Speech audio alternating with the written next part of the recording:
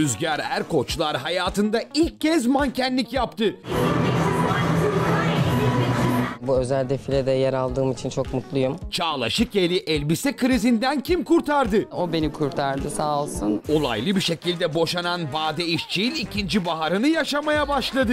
Bir sayfa kapandı yeni tertemiz bembeyaz bir sayfayla tekrar gördünüz işte. Gülşen hamileliğinin 6. ayında çocuğuna koyacağı ismi açıkladı.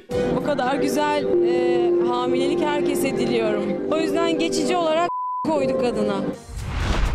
Modanın kalbi bir hafta boyunca İstanbul'da attı. Bu kadar ünlü modacı, bu kadar ünlü tasarımcı, bu kadar ünlü manken ve bu kadar moda sever herhalde bir dahaki seneye İstanbul Moda Haftası'nda bir araya gelir.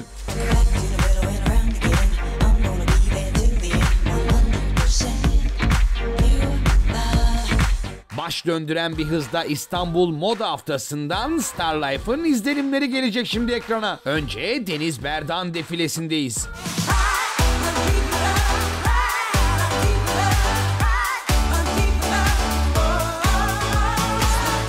Deniz Berdan'ın kızı Begüm Berdan'la tasarladığı kıyafetleri taşıyan mankenler arasında ünlü oyuncu Gonca Vuslateri ve Rüzgar Erkoçlar da vardı.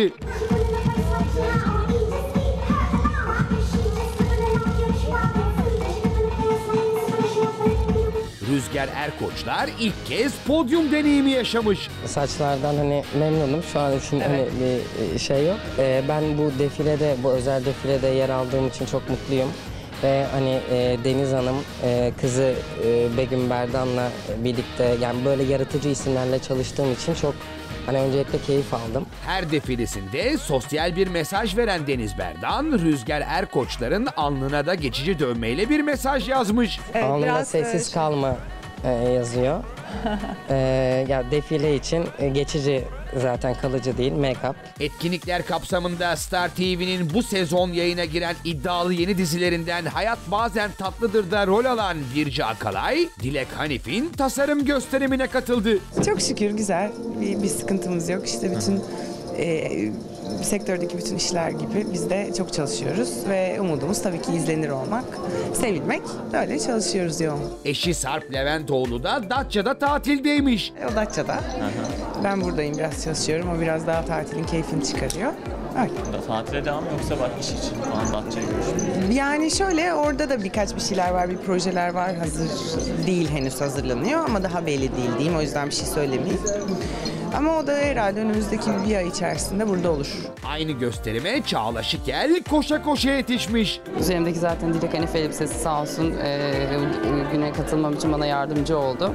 Ne giyeceğim derdinden de o beni kurtardı sağ olsun. E, hakikaten 10 dakika sürmedi yani hazırlanmam. Özel hayatıyla ilgili de konuşan Çağla Şikel, karşısına eğer sevebileceği bir kişi çıkarsa kısmet kapısını yeniden açacağını ve yeniden evleneceğini açıkladı. Kapılarla ilgili bir şey söylememeye karar verdim. Ne açık ne kapalı belli olmaz.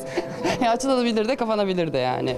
Biz de tempomuzu düşürmeyelim ve Özgür Masur'un defilesine geçelim. I just called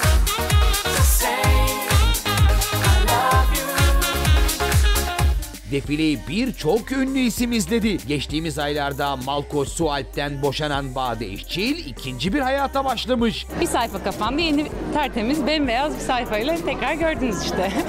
Bade İşçil oyunculuğa devam edecekmiş. Projeleri değerlendirmeye başladım. Oğlum da büyüdü. Öyle bakalım. Heyecanlı bir şeyle inşallah karşınıza geleceğiz.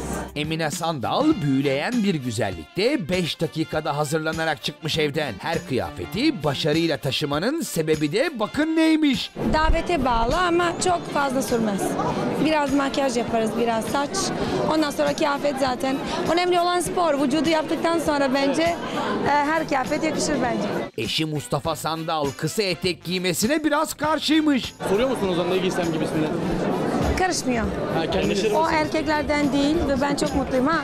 Kısa, kısa eteklerde karışıyor tabii ki.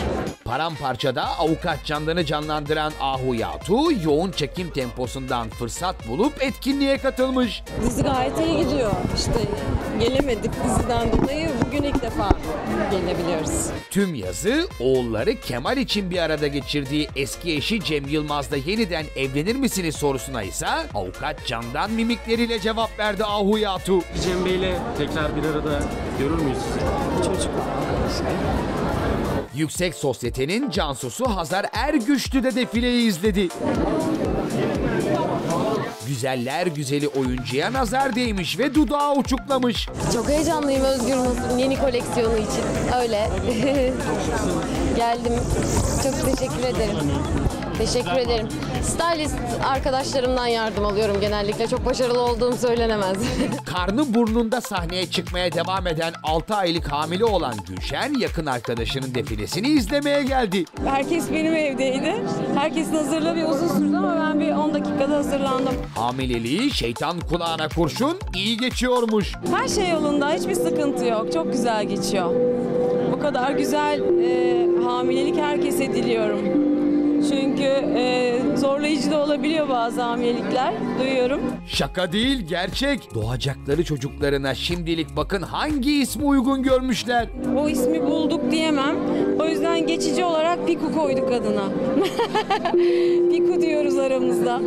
Oyunculuğa ara veren ve şu sıralar aşçı olarak hayatına devam eden Hazal Kaya da izleyenler arasındaydı. Yani henüz netleşmiş hiçbir şey yok ama evet yeni sezonda ekranda olmayı düşünüyorum. Yeniden setlere dönme heyecanı yaşadığını müjdeleyen Hazal Kaya, 3, 2, 1 kayıt sesini duyacağı günü iple çekiyormuş. Gayet keyfim yerinde şimdilik ufak bir tatil yapıyorum.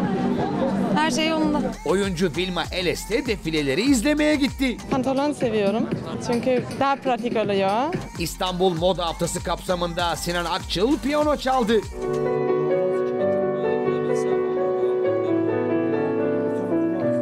Ünlü müzisyen short smokinli kreasyonuyla defilenin en sıra dışı ismiydi. Aynı defilede kadın mankenlerin taşıdığı çiçek işlemeli ve motifli elbiseler ilgiyle izlendi.